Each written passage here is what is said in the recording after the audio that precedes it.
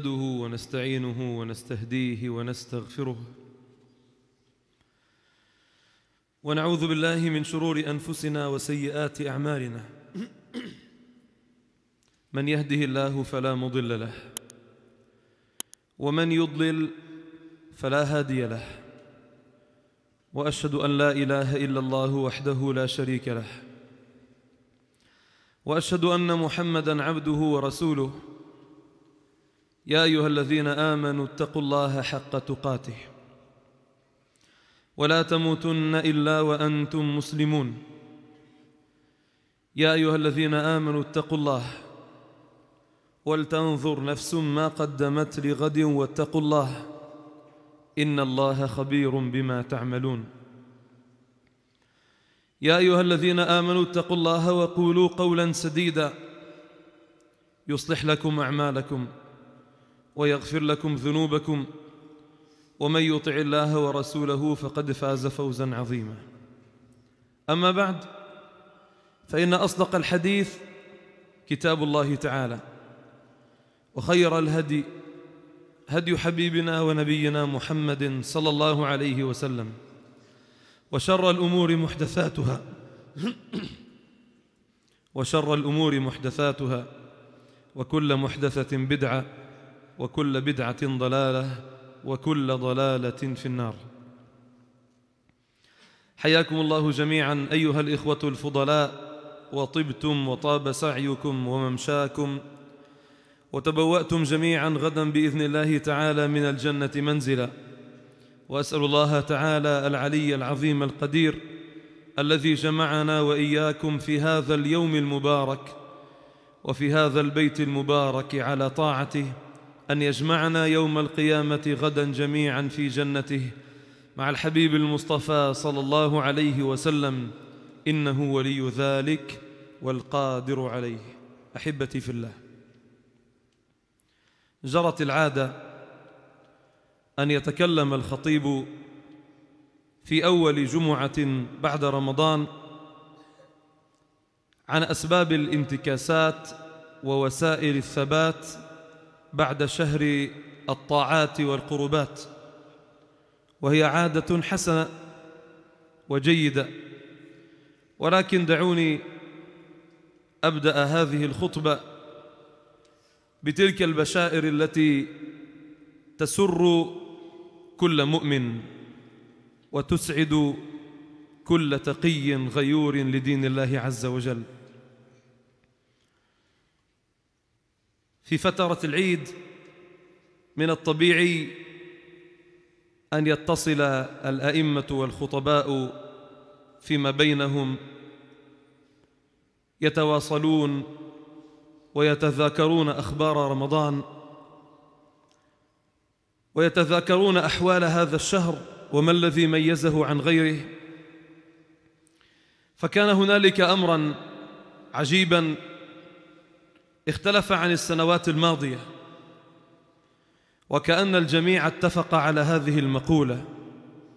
أتكلم عن بعض من سمعتهم من صيدا وبعض من سمعتهم من خارج صيدا من بيروت ومن طرابلس ومن البقاع. وأتكلم عن من تكلمت معهم من خارج لبنان. في دول عربية ودول غير عربية.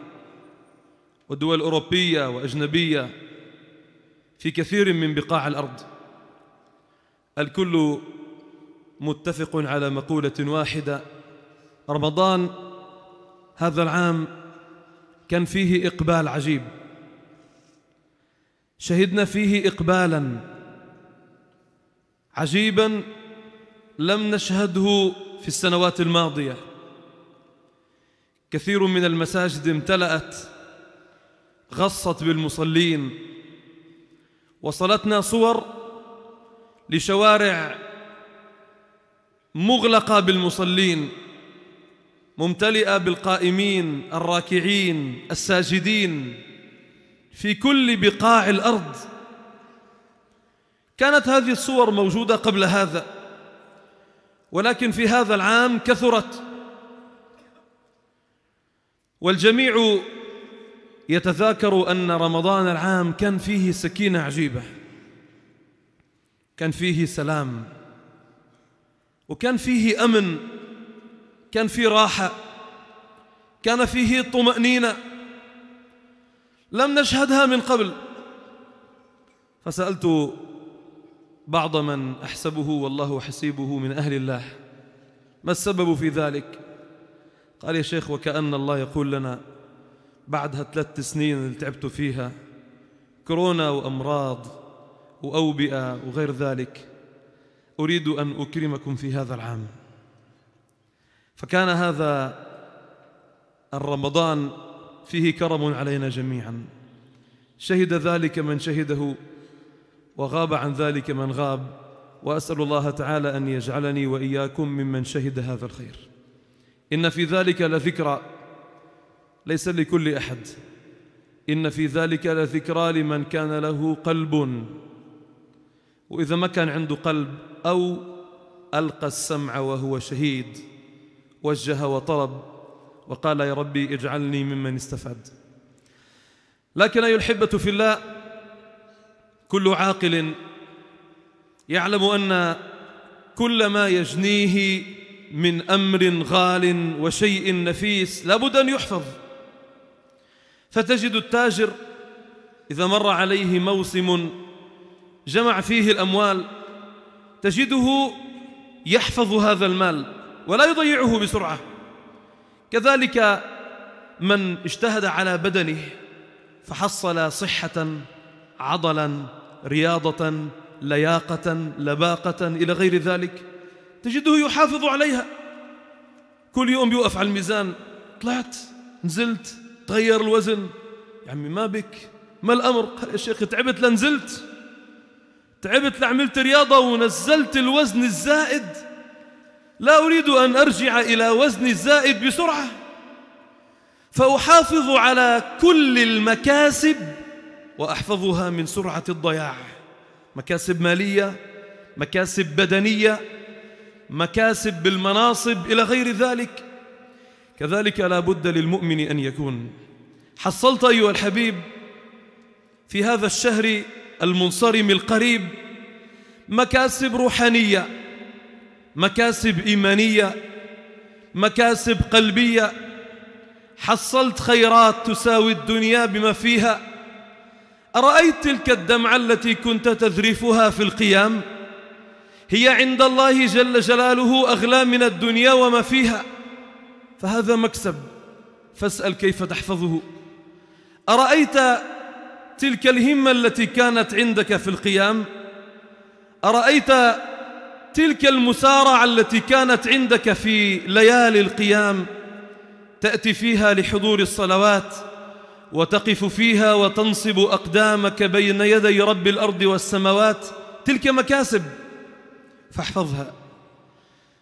ولطالما نتكلم دائما عن الثبات وأسباب الثبات لكن دعوني أتكلم وإياكم بكل وضوح وصراحة عن بعض أسباب هذه الانتكاسات. الكل أولا يقر ويعترف أن الحالة الإيمانية بعد رمضان تنزل. طبعا النزول بيختلف من شخص إلى آخر.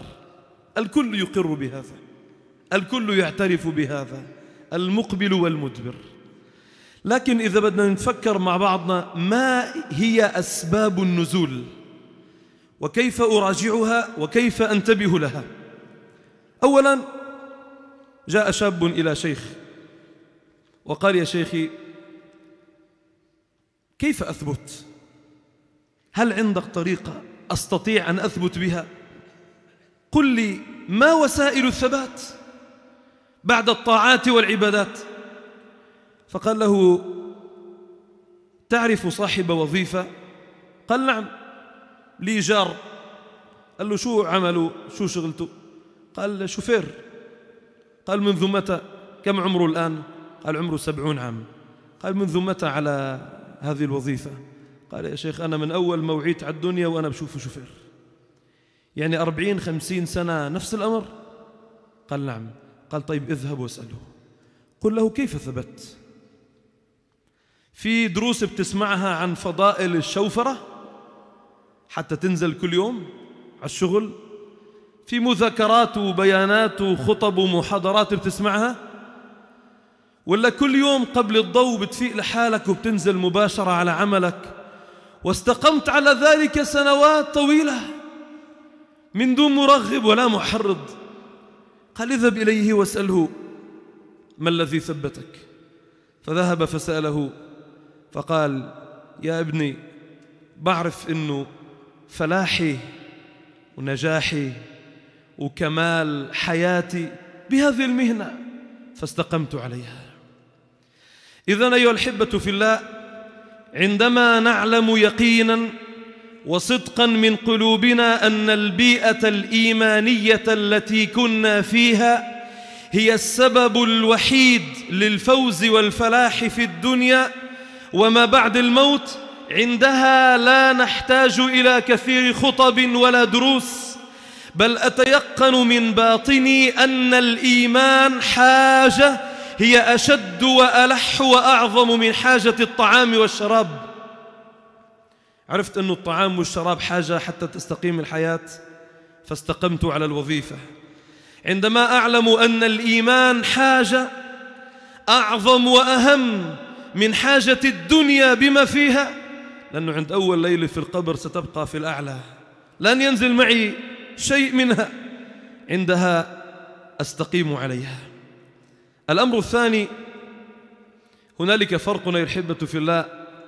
بين الصورة والحقيقة. شو يعني فرق بين الصورة والحقيقة؟ هنالك فرق بين الإقبال بسبب البيئة العامة وبين الإقبال القلبي. الإقبال بسبب البيئة العامة الكل عند بالشغل والمصلحة والبيت والجيران والأصحاب الكل مقبل برمضان. بل بالعكس بفضل الله وصلنا إلى مكان في بلادنا غالباً إذا تبقى في البيت أو في العمل الناس بتقول لك لا ولو تراويح ليش ما بتجي على التراويح؟ ليش ما بتجي على البيئة؟ فأنا أقبل مع المقبلين. ولكن أيها الحبة في الله المتأمل والمتدبر يعلم أن الإيمان عزيز وغالي. لا يمكن أن ينال هكذا أن تمشي مع الناس. لا بد أن يسبق الإيمان نية صادقة مخلصة من القلب. لسان حالك فيها يا ربي أنا مقبل بقلبي ولو كنت وحدي. الناس أقبلوا ما أقبلوا؟ أنا أقبل مع الناس. وهذا تجده بصراحة عند أولئك الذين بفضل الله تعالى لم يفوتوا البيئة. يعني 30 يوم حافظ على البيئة. ما تغيرت عنده البيئة والإقبال عليها بسبب الظروف العامة. فتجده أقبل واستقام طيلة الشهر. فالذي يقبل بقلبه يعني هذا نوى والذي يقبل مع الجميع هذا تأثر مع الجميع فهذا صورة. والثاني حقيقة وشتان ما بين الصورة والحقيقة. الأمر الثالث الحبة في الله عدم معرفة فقه التدرج. يعني يظن الواحد منا أنه إن أقبل لا بد أن يكون مقبلا دائما ولا يمكن أن يصيبه انتكاسة. وهذا جهل بطبيعة العبادة. ربنا جل جلاله قال في القرآن الكريم رب السماوات والأرض وما بينهما فاعبده واصطبر لعبادته. هل تعلم له سميا؟ وقال جل جلاله وأمر أهلك بالصلاة واصطبر عليها. قال العلماء لأن الله تعالى يعلم حقيقة النفس أنها تحب التفلت فرغبها وأمرها بالاصطبار مش بالصبر وهو أشد من الصبر بالاصطبار على العبادة. عشان قال العلماء إيماننا يزيد وينقص. من الأشياء التي يدخل فيها إبليس على النفس بالذات بعد رمضان عندما تضعف بيئة الإيمان في فترة العيد في أسبوع العيد فيشعر الإنسان بفجوة. في شيء كان عنده راح. هذه الفجوة يدخل منها إبليس ليقول له أنت لست أهلا للإيمان. أنت لست أهلا للعبادة. شوف شو صار فيك. راحت البيئة ففي أسبوع العيد راح عندك الإيمان فأنت انتكست فهذه صفة من صفات المنافقين. أما الذي يعلم أن هذا دأب المؤمنين الصادقين المقبلين إلى رب العالمين أنهم يصابون بالانتكاسات والذنوب لسان حالهم وآخرون اعترفوا بذنوبهم. خلطوا عملا صالح وآخر سيئة. خلطوا عملا صالحا وآخر سيئة. لولا أنكم تذنبون لذهب الله بكم. وجاء بقوم يذنبون فيستغفرون فيغفر الله تعالى لهم. إذا أنت لابد أن تعلم أن مسيرك إلى الله فيه انتكاسات. وهذا يريده الله جل جلاله. لا يريد منا أن نعصيه لكن الله تعالى يريد منا إذا وقعنا أن نرجع إليه. فإذا الوقوع بعد الفترات بعد فترات الإيمانيات هذا أمر طبيعي. لا ينبغي أن يشعرك بالنفاق أو يشعرك باليأس بل هذا أمر طبيعي تشد الهمة بعده لتقبل إلى الله جل جلاله. الأمر الرابع الحبة في الله عدم معرفة أن المقبل إلى الله لا بد أن يبتلى. اليوم يا إخواني في الله أبسط شيء بيصير مع الملتزم بخليه يترك البيئة. الغلام اللي قصته معروفة عند الجميع اللي خبر عنه النبي عليه الصلاة والسلام الذي كان قد اختاره ساحر عند ملك من بني إسرائيل. فالساحر كبر. فقال له للملك بدي اختار غلام علمه السحر حتى يكون مكاني. فهذا الغلام جاء إلى الساحر وصار الساحر يعلمه السحر. فرح بالسحر. تغيير أمور ظاهرية. هو بالطريق شاف صومعة فيها راهب. دخل عند الراهب جلس عنده سمع كلامه عجبه كلامه. فصار يقعد عند الراهب ويروح عند الساحر. بس يروح عند الساحر يكون متأخر فالساحر يضربه. وبس يرجع من عند الساحر يمر عند الراهب أهله يضربوه. فراح عند الراهب قال له يا راهب أنا أبتلى أضرب. فما العمل؟ فقال له الراهب إنك اليوم أفضل مني وإنك ستبتلى.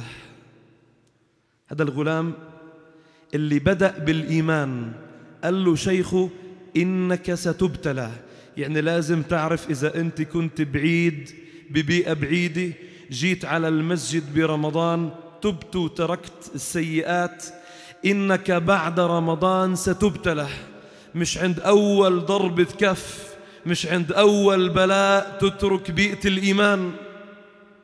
سامحوني اليوم يا إخواني بتشوف شاب تقول له عمي وين معش شفتك بالمسجد؟ قال يا شيخ راح صباطي. بيع الإيمان بحذاء. قال فلان سمعني كلمة بالجامع أنا ناقصني أنا فلان زأرني وطلع فيه. يا الله شيء عجيب. أو شيخ فتحت الدنيا على الحمد لله بشرك يا شيخ الله بارك لي. وفتحت الدنيا علي جتني وظيفة براتب. هذا الغلام جاء بعد ما باختصار علم الملك بخبره فجاء بالذين يريدون قتله. ضربوه بعد ما ضربوه بتترك قال لا أترك. طيب مين اللي علمك قال الراهب. جيء بالراهب اقتلوه قتلوه. خذوه ضعوه في القرقور في البحر وألقوه في البحر. ما ترك. بل بالعكس أنقذه الله جل جلاله وعاد بقدميه إلى الملك. أين الجنود؟ أغرقهم الله. خذوه إلى رأس الجبل ألقوه من رأس الجبل. نصره الله عاد إلى الملك. فقال للملك شوف المؤمن أنواع. في مؤمن بيؤمن لنفسه وفي مؤمن بيكون صاحب مشروع. صاحب مشروع للأمة. هذا الشاب الغلام مثل بإذن الله كثير منكم ممن أقبل في رمضان. شوف الناس في رمضان ثلاث أنواع يا إخواني. ناس أقبلت بس لرمضان وانتكست وفلت. ناس أقبلت في رمضان لنفسها وبقيت مع نفسها ملتزمة. والصنف الثالث الذي هؤلاء أعظم الناس أسأل الله يجعلنا وإياكم منهم. دخلوا إلى رمضان وعلموا أنهم أصحاب مشروع للأمة. مثل هذا الشاب. فعاد إليه. قال له تقتلني قال نعم. تريد قتلي؟ قال نعم. قال أنا أقول لك كيف الحل. قال ماذا أفعل؟ قال اجمع كل القرية. طيب وبعد ما تجمع كل القرية اربطني بالعمود. وبعد ما تربطني بالعمود بتجيب سهم. وبتقول بصوت عالي بسم الله بسم الله رب هذا الغلام. قال له بس قال له بس. أخذ السهم جمع الناس قال بسم الله. كيف ملك بسم الله؟ ما أنت الملك على أساس. قال بسم الله رب الغلام. ورمى السهم فالسهم نزل في صدغه فمات. أول ما نزل الغلام على الأرض نادى كل الناس كلمة واحدة. ماذا قالوا؟ آمنا برب الغلام. آمنا برب الغلام. طلع. شو صار؟ أنا كنت بواحد آمن كل الناس. صاحب المشروع الرباني لقيام الأمة مستعد يضحي بنفسه. إحنا يا إخواني ماذا مستعدين نضحي؟ المشروع اللي قلنا شو مستعدين نضحي من أجله؟ الآن الذي نقوله يا إخواني في الله بعد رمضان واللي دائما كنا نقوله قبل رمضان إحنا لا بدنا أرواح الآن ولا بدنا دماء. فقط المشروع الذي نريده منك أن تضحي بين المغرب والعشاء. الذي نريده من الشباب الآن بعد رمضان أن يضحوا لنا بساعة. وأن يقولوا حتى نستقيم على الإيمان بعد رمضان نريد أن نقدم ساعة لله بين المغرب والعشاء. هذه الساعة إذا قدمتها بعد رمضان لله جل جلاله واستقمت عليها فأنت تحضر نفسك لمشروع إنسان رباني. من الإنسان الرباني؟ هو الولي من أولياء الله الذي قال الله جل جلاله عنه ألا إن أولياء الله لا خوف عليهم ولا هم يحزنون. أسأل الله تعالى أن يجعلني وإياكم منهم. أقول قولي هذا وأستغفر الله لي ولكم فاستغفروه. الحمد لله رب العالمين والصلاة والسلام على حبيبنا وسيدنا محمد صلى الله عليه وعلى آله وصحبه وسلم أجمعين. أن تكون إنسانا موصولا بالملك جل جلاله هذا له ثمن. رمضان يا إخواني في الله بيعرفك على طعم الإيمان بس دفع الثمن بكون بعد رمضان. سيدنا مصعب بن عمير بقولوا الصحابي عنه رضي الله عنهم كان أكثر فتى منعم في مكة. عبيته من اليمن. العطر اللي بحطه من بلد آخر. الحذاء اللي بيلبسه من بلد آخر. إذا بيمشي من طريق كل أهل الطريق يقولوا مصعب مرة من هنا من جمال الرائحة التي كان يضعها. وحيد أمه تكرمه وتطعمه. ذاق طعم الإيمان. ذاق طعم الإيمان. اللي بدوق طعم الإيمان يا إخواني في الله ما عادش يستشعر بطعم آخر. نسي ثيابه وحذاءه وأكله وشربه ودلعه عند أمه وبيته. هذا اللي أنا بدي أسأل نفسي وتسأل نفسك فيه. هل أنا وأنت دقنا طعم الإيمان برمضان؟ دقنا طعم الإيمان؟ اللي بدوق طعم الإيمان مستحيل ينساه مستحيل يترك هذا الطعم. الواحد بجرب كتير مطاعم وبجرب كتير أكلات بس مرة داق لأمي عند مطعم لأكلة معينة ما نسيها فدائما يأكل منها.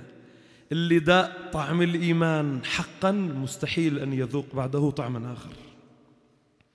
بس داق طعم الإيمان قال أنا كيف كيف أبقى هكذا؟ كيف أحافظ على هذا الطعم؟ قال بس أنت تمشي مع رسول الله. طيب شو ضريبة امشي مع رسول الله عليه الصلاة والسلام؟ انك انت ممكن تخالف وتحارب من اهلك. اول واحدة وقفت له امه. نعم يا امي. اذا بتضلك مع محمد صلى الله عليه وسلم واذا بتضلك ماشي معه اول شيء حامنع عنك الطعام والشراب. يا حبيبتي يا امي طعام وشراب لا شيء امام طعم الايمان. ما فينا اترك هذه البيئة. طيب إذا بدك تضلك مع محمد صلى الله عليه وسلم قاعد بالشمس بلا أكل وبلا شرب حتى موت قال يا شوفي يا أمي أنت غالية علي أنا أحبك. لكن والله لو كان لك مئة نفس تخرج النفس تلو النفس والله ما تركت محمدا صلى الله عليه وسلم طرفة عين. مش إذا كنت مش إذا مت حد مرة مئة مرة. مرة بعد مرة ما ممكن أترك طعم الإيمان. قلت طب بدي أسجنك.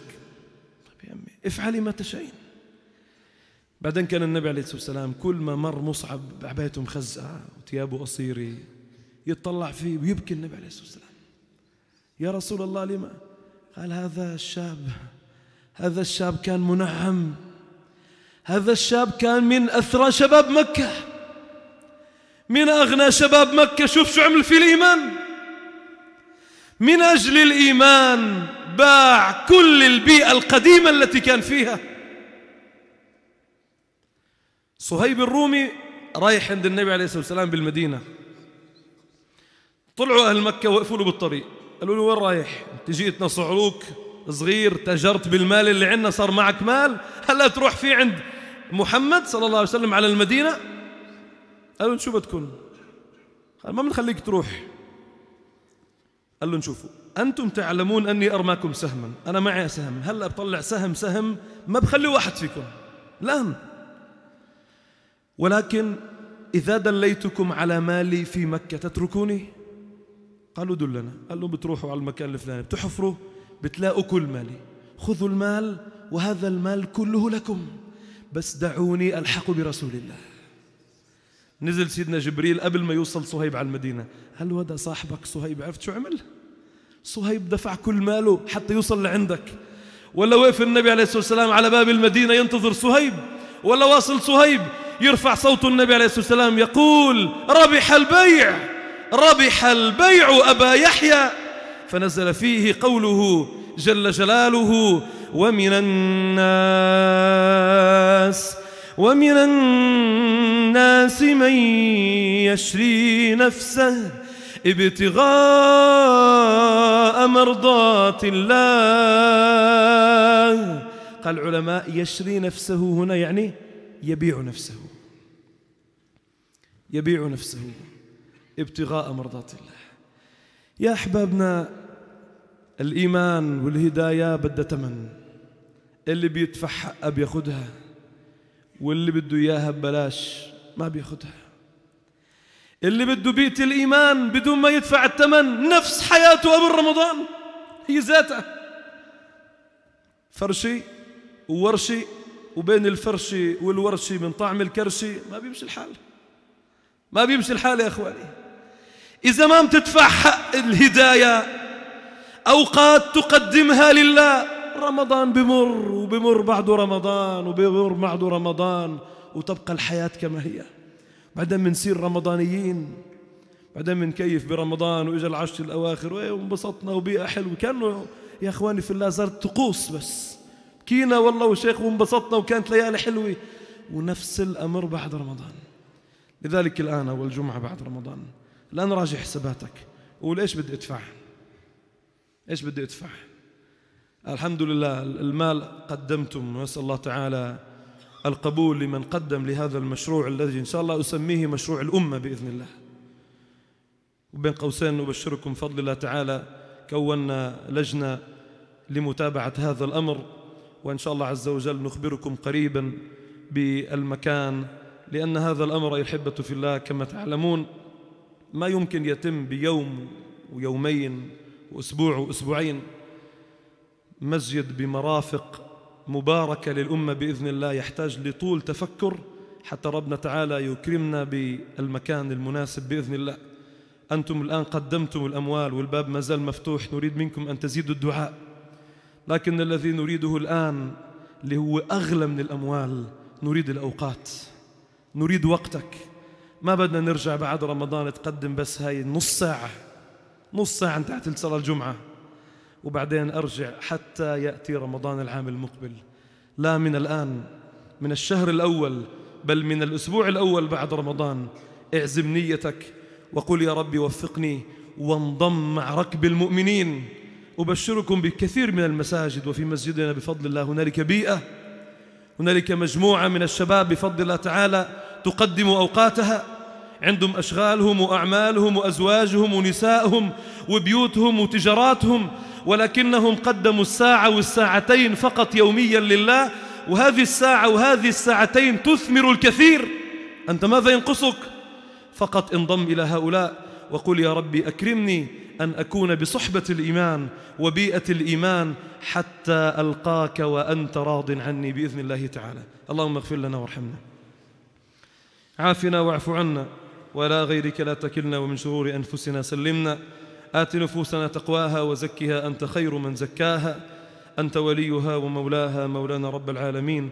لا تجعل لنا في هذه الساعة المباركة ذنبا إلا غفرته ولا هما إلا فرجته ولا دينا إلا قضيته ولا مريضا إلا شفيته ولا مبتلا إلا عافيته ولا تائبا مقبلا إلا قبلته ولا ناويا للثبات والاستقامة بعد رمضان إلا أعنته اللهم تقبل منا رمضان يا رب العالمين وبارك لنا في شوال واجعله مباركا علينا وعلى الأمة يا رب العالمين.